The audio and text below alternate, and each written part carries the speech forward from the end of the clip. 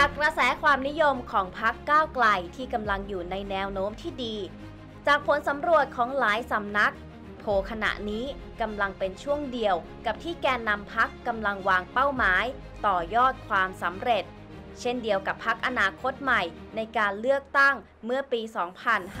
2562 แน่นอนว่ากระแสของก้าวไกลก่อนไปถึงวันเลือกตั้ง 14 พฤษภาคม ย่อมกระทบกับฐานเสียงของพรรคเพื่อไทย ที่หลายฝ่ายมองว่าอยู่ในขั้วเสรีนิยมเดียวกัน แต่จะแตกต่างกันที่การปลูกฝังแนวคิดอุดมการทางการเมืองที่ไปสู่ทิศทางนโยบายของประเทศ ซึ่งฐานเสียงสนับสนุนทำให้พักก้าวไกล มีความนิยมไม่ใช่เฉพาะคนเมืองหลวงเพียงอย่างเดียว แต่ในทุกจังหวัดพื้นที่หัวเมือง พักก้าวไกลก็กำลังขยายฐานในหลายพื้นที่เช่นกัน และหากโฟกัสไปที่เขตเลือกตั้งที่มีแนวโน้มกระทบกับกระแสพักก็อยู่ในพื้นที่ต่างๆ อาทิเช่นเขตหนึ่งจังหวัดเชียงใหม่ พักเพื่อไทย ส่งสอสอท็อปจากรพลตั้งสุดที่ทำลงเลือกตั้ง แต่ในโพลล่าสุดกลับมีชื่อของเพชรรัตน์ใหม่ชมพู ลูกสาวภายรัฐใหม่ชมพู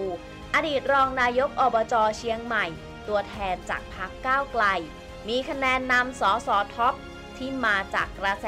ในอำเภอเมืองฐานเสียงคนรุ่นใหม่ หรือพื้นที่เขตหนึ่ง จังหวัดเชียงรายพักเพื่อไทย ส่งชื่อร้อยตำรวจเอกธนรัตน์จงสุทนามณี ลงเลือกตั้ง ถึงแม้จะเป็นน้องใหม่ แต่ถือว่ามีฐานเสียงหนาแน่น เพราะเป็นลูกชายของวรรณชัย จงสุทนามณี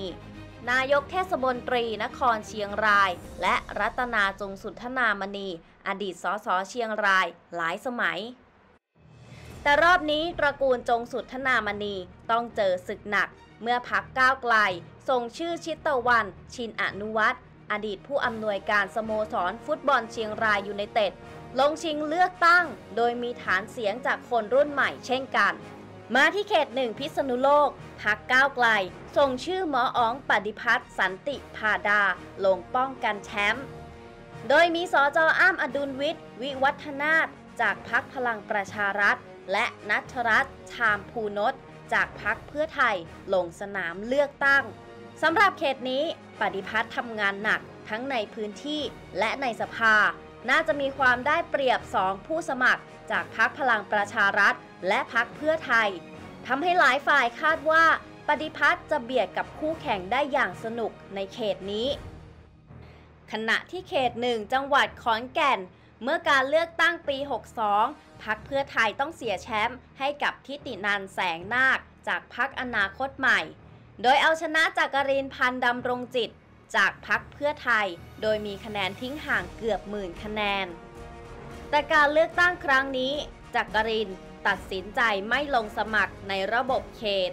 ส่วนทิตินันตัดสินใจย้ายไปสังกัดพักภูมิใจไทย ภายหลังอนาคตใหม่ถูกยุบพัก ส่วนการเลือกตั้งปีนี้พักเพื่อไทยส่งชื่อชัชวานพรอมรธรรม อดีตรองนายกเทศมนตรี นครขอนแก่น ที่เพิ่งแพ้การเลือกตั้ง นายกเทศมนตรีนครขอนแก่น เมื่อการเลือกตั้งในปี 64 ขณะที่พักก้าวไกล ส่งชื่อทนายป๊อก วีรนันท์หวดศรีที่ได้รับการสนับสนุนจากรังสิมันโรม ลงเลือกตั้งทำให้ต้องติดตามว่ากระแสของพักก้าวไกลในเขตนี้จะเปลี่ยนไปจากเมื่อปี 62 หรือไม่ ทั้งหมดคือตัวอย่างเขตเลือกตั้งหัวเมือง ส่วนหนึ่งที่พักก้าวไกล เริ่มมีกระแส แข่งขันกับพักเพื่อไทยในหลายพื้นที่ จนแกนนำพักต้องกระตุ้นให้ผู้สมัครสอสอต้องเร่งเครื่องลงพื้นที่ให้หนักกว่าเดิม เพราะการเลือกตั้งครั้งนี้พักก้าวไกลก็เทหมดหน้าตัก ที่จะสร้างกระแสความนิยม เช่นเดียวกับผลการเลือกตั้งของพรรคอนาคตใหม่ เมื่อปี 2562 ให้กลับมาอีกครั้ง